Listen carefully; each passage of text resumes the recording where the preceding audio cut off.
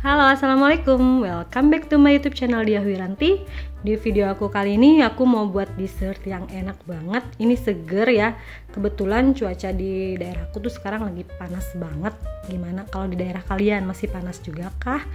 Nah di sini ini cocok banget. Kebetulan di daerahku juga lagi musim mangga Nah ini makanya aku mau buat uh, dessert ini. Ini tuh namanya mango apa ya? Creamy mango milk cheese.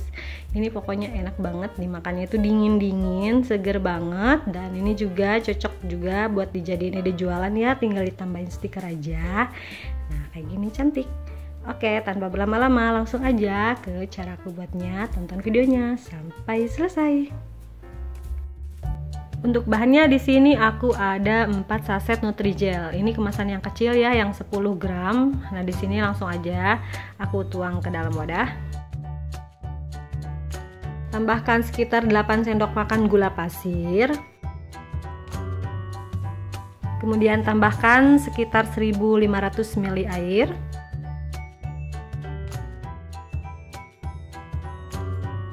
Ini diaduk-aduk dulu sampai gula putihnya itu agak larut ya.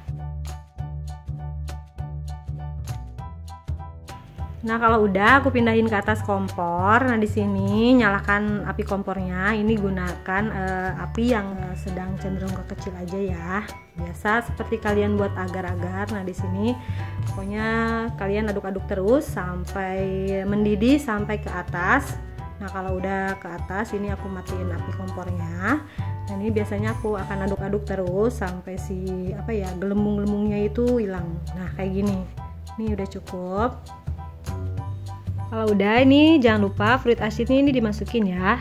Nah ini kalau udah dimasukin kayak gini kita aduk-aduk lagi sampai tercampur rata.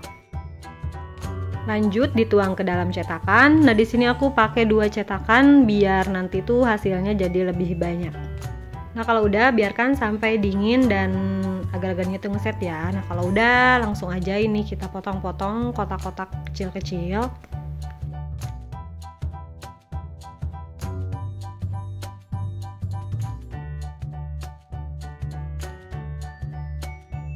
Nah, jadinya seperti ini.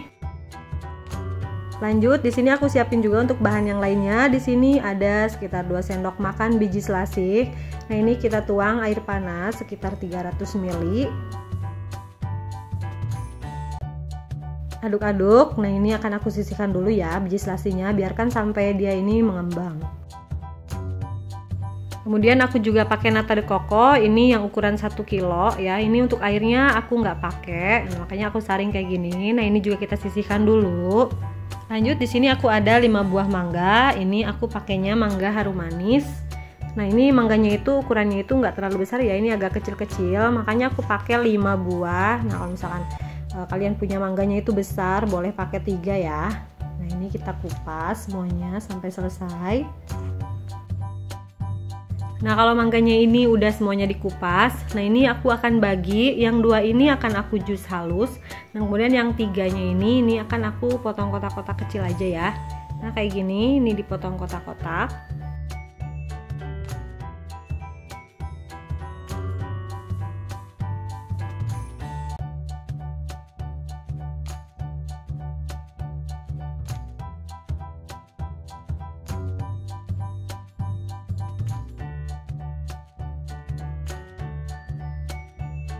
Kalau udah ini juga akan aku sisihkan dulu. Nah lanjut di sini aku akan buat untuk saus mangganya ya. Nah ini untuk mangga yang tadi dua itu ini akan aku masukin ke dalam blender.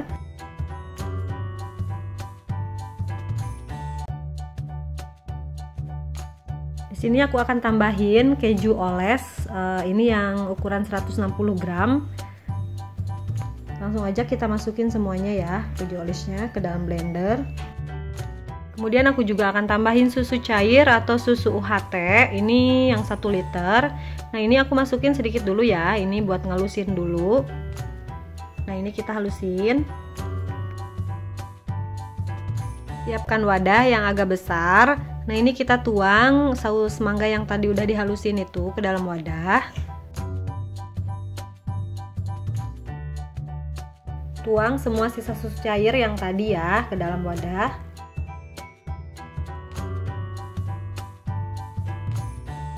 Tambahkan satu kaleng susu evaporasi. Ini fungsinya biar nanti si kuahnya itu gurih ya.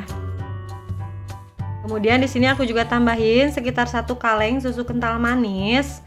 Nah ini yang ukuran 370 gram.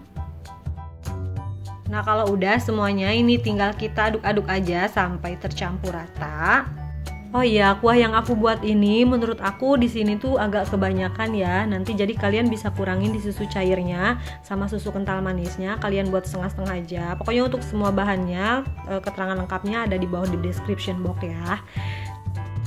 Nah, ini kuahnya ini bisa kalian lihat, ini tuh creamy banget, kental kayak gini.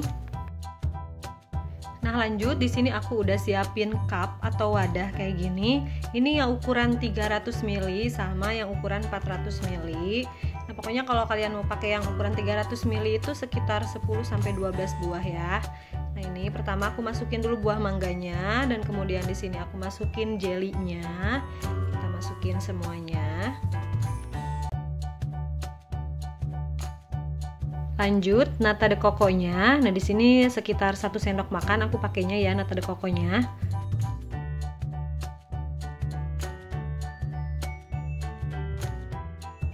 Kemudian biji selasinya juga masuk. Ini juga sama ya, aku pakai sekitar satu sendok makan.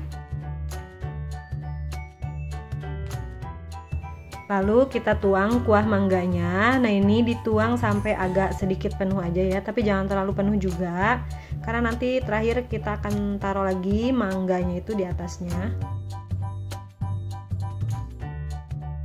Nah kayak gini kita taruh lagi mangga di atasnya. Ini secukupnya aja.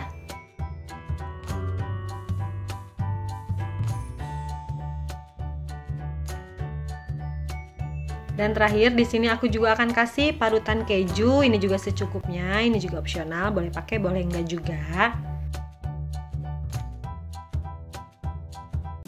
Nah ini dia creamy mango milk cheese-nya udah jadi. Gimana? Gampang banget kan buatnya? Siapa tahu bisa jadi referensi kalian Yang sekarang di rumahnya lagi musim mangga. Boleh dibuat kayak gini juga ya. Oke terima kasih yang udah nonton video aku kali ini. Tekan like jika kalian suka dengan videonya. Komen di bawah ya untuk ide dan sarannya. Tekan juga subscribe buat kalian yang belum subscribe. Tekan juga tombol loncengnya biar kalian update selalu video-video terbaru aku selanjutnya. Oke terima kasih. Semoga video kali ini bermanfaat See you in the next video.